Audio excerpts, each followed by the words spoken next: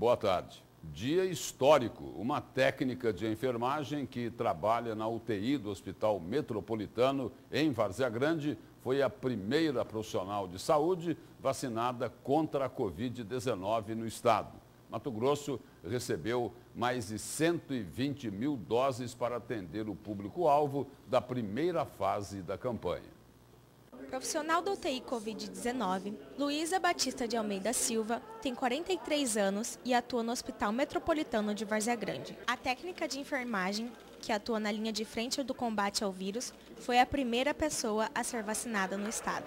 É alegria, é muita alegria em saber que está chegando ao fim essa luta desigual com esse vírus invisível, no qual nos sacrificou mesmo, massacrou a gente da linha de frente, onde nós ficamos é, isolados dos nossos parentes, dos nossos filhos, marido, mãe, para que não levasse, não transmitisse. Além de Luísa, na noite desta segunda-feira, mais sete profissionais da linha de frente da saúde foram vacinados. O governador do estado de Mato Grosso estava presente no local e explicou como foi o contato e a busca pelas primeiras doses da vacina. São 126 mil doses, sendo delas 60 mil destinadas pela política nacional aos povos indígenas e as demais serão distribuídas de acordo com critérios do número de profissionais que tem na atenção básicas e o número de profissionais, de pessoas, cidadãos que estão também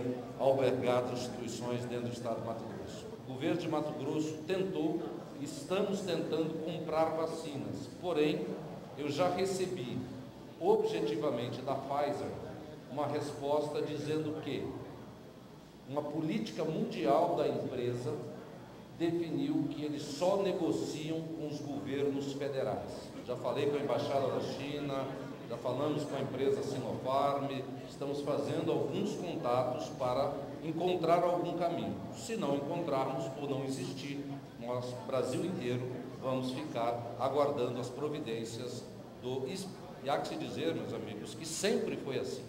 Toda a campanha de vacinação no Brasil, ela foi coordenada, ela foi comprada pelo Plano Nacional de Imunização, que é do governo federal.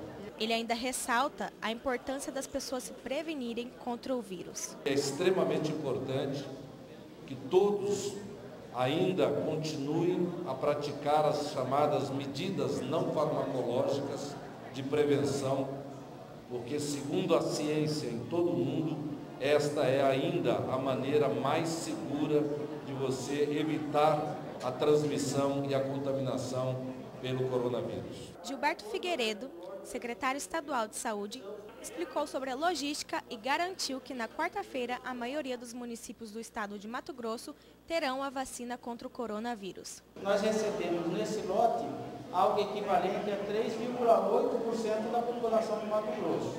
E recebemos o, equivalente às duas doses. Né? Então, significa que, dizer, que o número de doses divide pelo meio o número de cidadãos que serão vacinados. Nós entregaremos já para os municípios da Baixada Cuiabana e também começamos a logística para o interior. Vamos entregar apenas a primeira dose, porque nós temos que assegurar que quem for vacinado agora, daqui, eh, daqui 14 a 28 dias recebam a segunda dose, não podemos correr o risco de encaminhar todas as doses e de repente acontecer alguma coisa que não esteja de acordo com o plano nacional.